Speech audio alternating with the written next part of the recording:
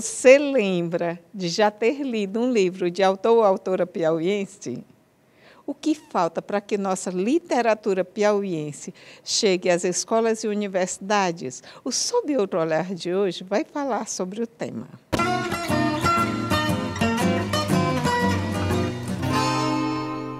Fernanda, você é professora e escritora, gosta de poesia, preferência é, poesia, né?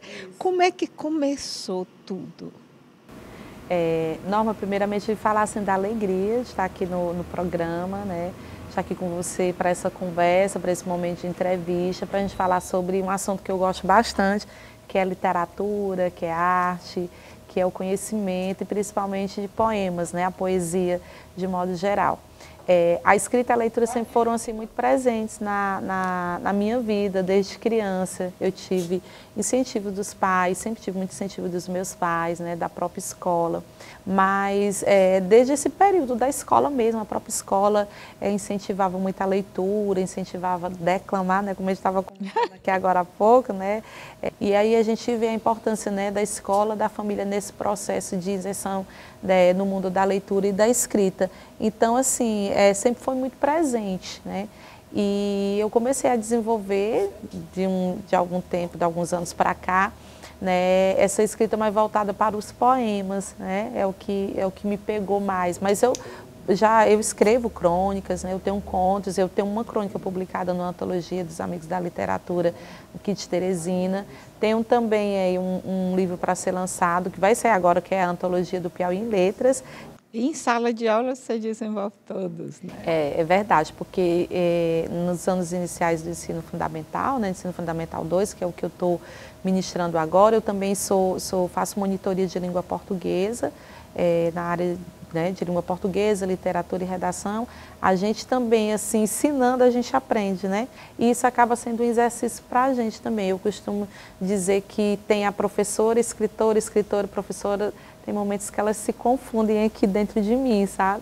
Porque, é, de certa forma, a minha vivência como professora me influencia como escritora também. Vamos falar sobre as feiras literárias aqui no Piauí para difusão da obra piauiense, para difusão da literatura piauiense?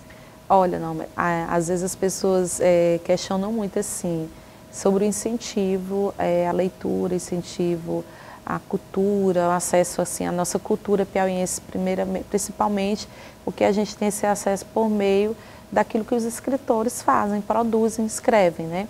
E a gente vê assim um movimento já de algum tempo, principalmente com o Salip, que já tem aí para mais de 20 anos, né? Tem o Saliva, que é o Salão do Livro de Valência, o Salipa, Salão do Livro de Parnaíba. Tem o de a, Campo Maior. Tem o de Campo Maior, então descentralizou muito, não está aqui somente em Teresina que são é, é, é, é, esses momentos, essas feiras são é, grandes momentos assim, oportunidades para que o público possa consumir mais a literatura, né, a nossa literatura principalmente. E a Felipe ela veio com uma proposta diferente, que é a Feira da Literatura Piauiense, né? A gente diz o Felipe, não, a Felipe porque se refere à feira, né? É, fazer esse trocadilho com, com o nome.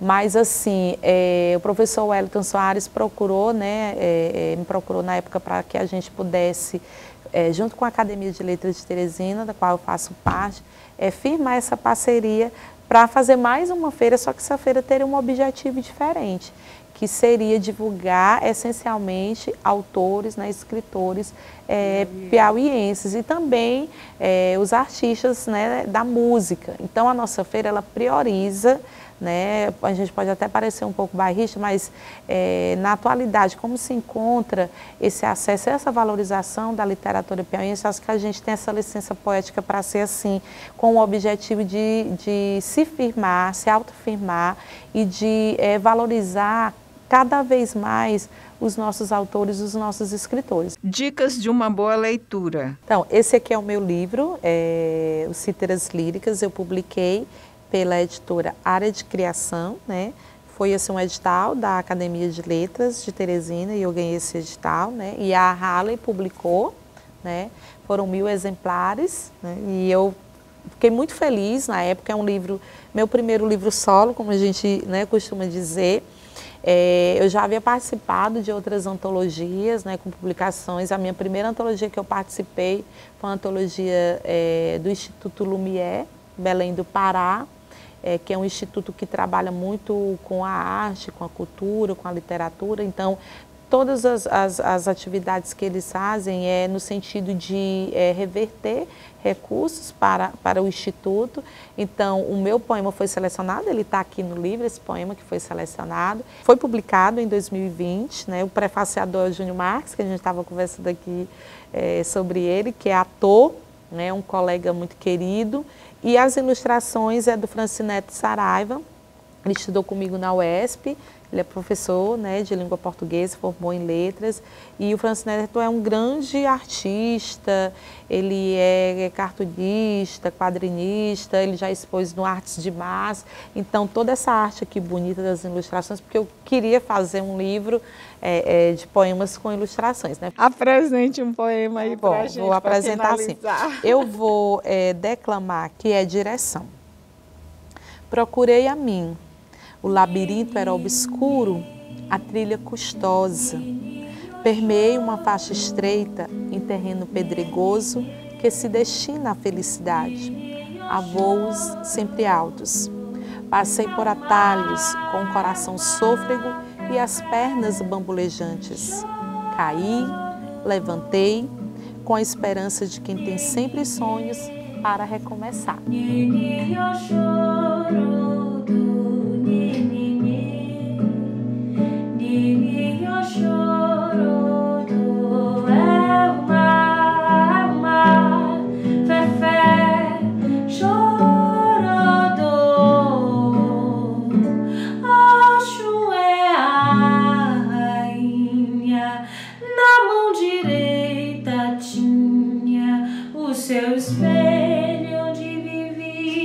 asimilar.